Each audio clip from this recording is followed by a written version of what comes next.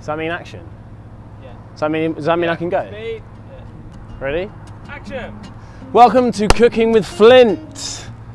On today's show, we're going to be cooking steak. Should be very nice, very nice, very nice. You know, make friends with your local butcher, okay?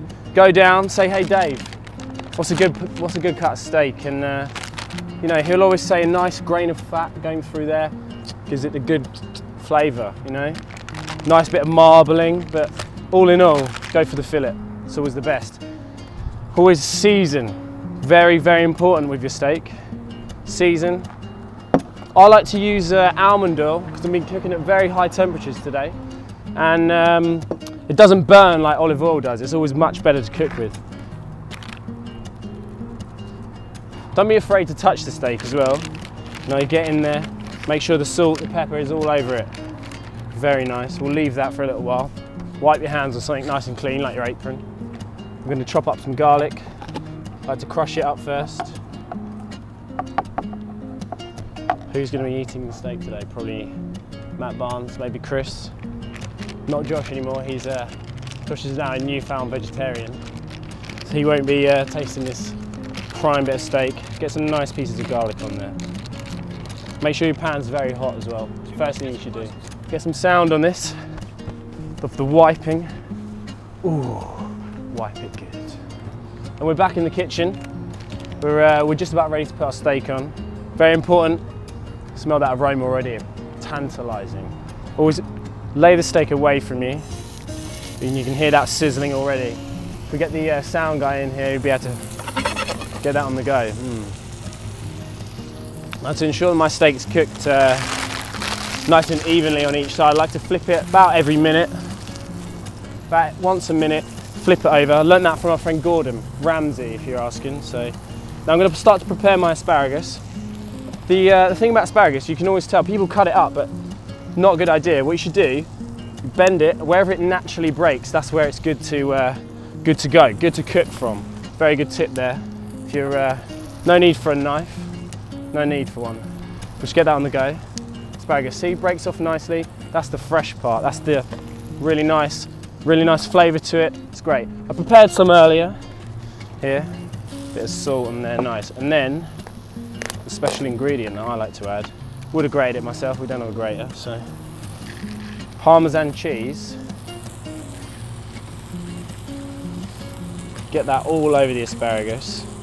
These have been uh, cooked in some boiling water just for a couple of minutes, just to take the, uh, the hardness out of them.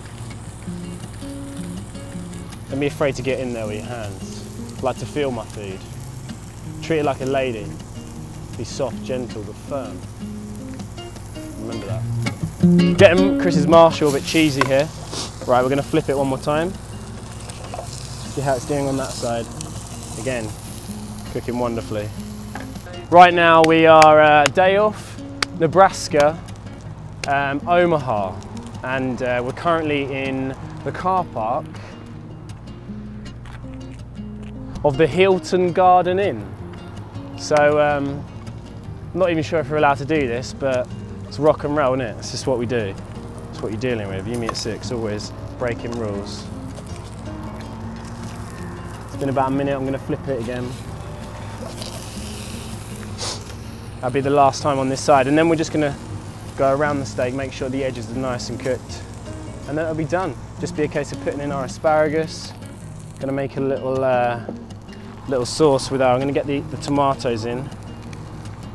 Get them crisping up. That, lots of garlic going into this dish. We'll keep the vampires away.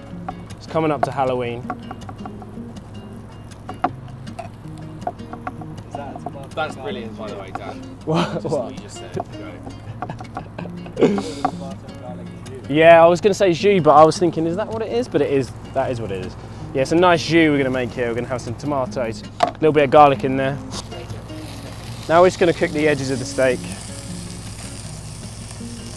Come in there, you can hear when it's a new, fresh piece of meat, it just, just starts to sizzle, starts to speak to you. That's it, get in there, get in there nice and close. We're now going to put the asparagus in. Let them start to cook off. Right, now we're going to, we're going to squash these tomatoes.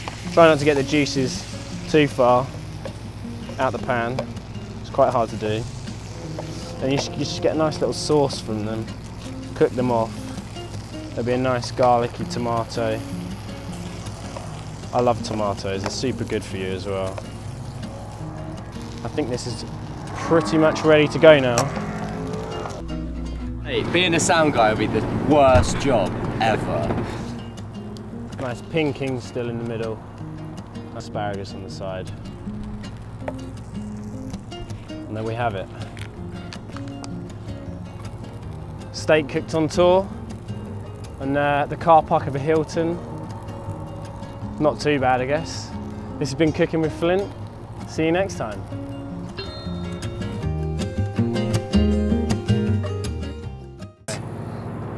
Nice rare piece for you there, Yosh.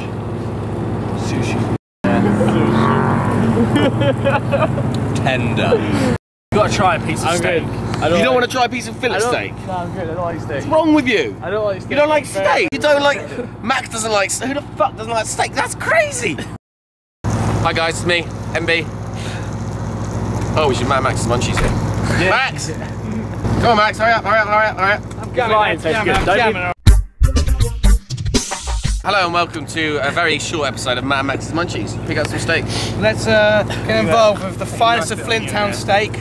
Go, mate. It's very nice, it's medium, medium rare, just how I like it. Try this as well. Mmm, Very juicy. Very well cooked steak. I like the way the asparagus really complements the steak flavour.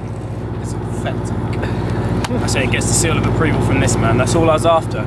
It's like a Michelin star to me.